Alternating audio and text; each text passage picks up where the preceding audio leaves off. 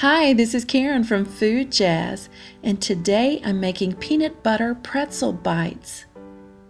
This candy is perfect for the Christmas holiday season, and if you've never made candy at Christmas time before, this is an easy recipe to start with. So let me show you how to make it.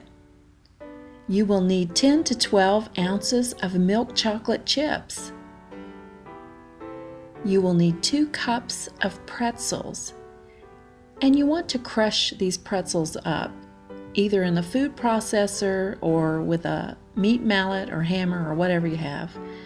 One cup of creamy peanut butter,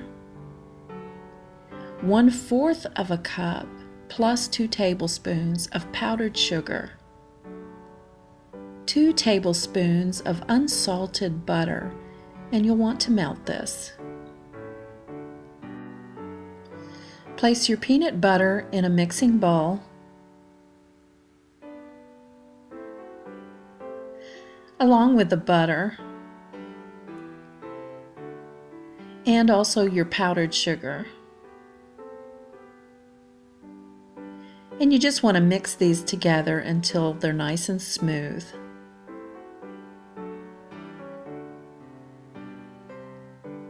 And now you're ready to add your pretzels.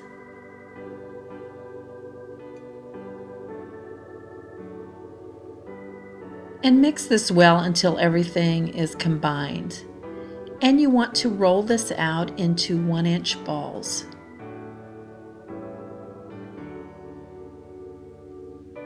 And place a toothpick in each one and then place it into the freezer for 30 minutes.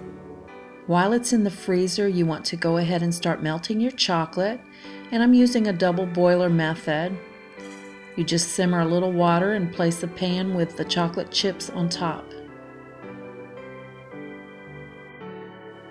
And you will want to stir this several times during the process to keep the chocolate from sticking.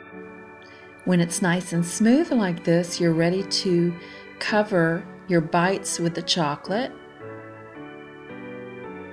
and place them on a wire rack to allow any excess chocolate to drip off.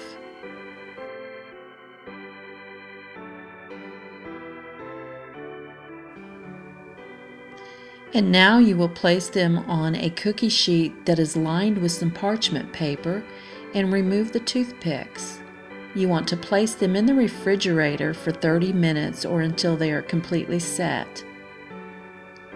And then they're ready to eat and enjoy. And I hope you like this recipe as much as I do. Thank you so much for watching.